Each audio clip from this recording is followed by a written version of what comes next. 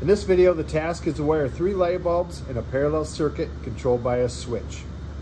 The purpose of this video is to show how each light bulb receives its own power, why when one light bulb goes out, the other bulbs stay lit, how electricity flows, and what the purpose of a switch is. If you wire this correctly, the lights will all turn on, all will have the same brightness, and when one bulb is taken out, the rest remain lit. This also shows the four necessities to make an electrical circuit. A switch, a power source, a conductor, and a load. For this task, we will need one of our training boards. These boards contain a power source, that's our hot and neutral, a switch, that's what we use to control the lights, three light bulbs in sockets, this is the load. A load is something that does work. We're using 60 watt bulbs in this instance. And our conductor, which is our wire leads. First thing you want to make sure our board is unplugged, not plugged in. We want to make sure that our switches are off.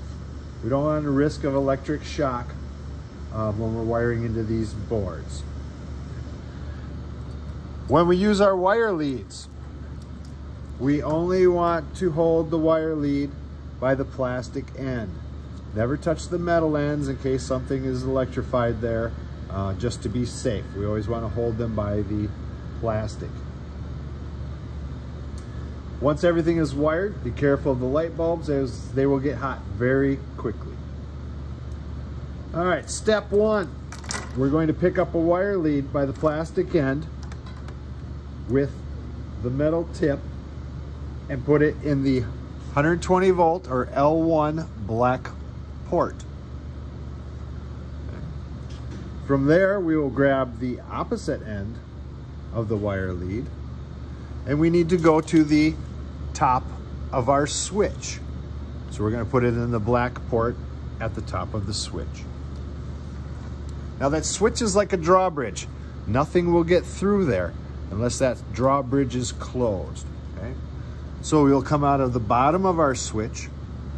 Now we need to take the opposite end, go over to the 360 watt light bulb, starting with the top. We will put it in the power 120 volt side of our light bulb. Okay, so we went from black to black to black. Now all of our wires are made that they can be plugged into each other. That means I can take this wire and plug it into this wire lead and install it into the middle light bulb on the power side. And I can take another wire lead, plug it into that middle socket and plug it into the bottom. So what we're doing is we're kind of chaining these all together. So this is our hot 120 volt side. Okay. Every time we have a hot, we need to have a neutral.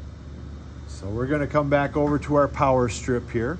We have our neutral side and we are going to take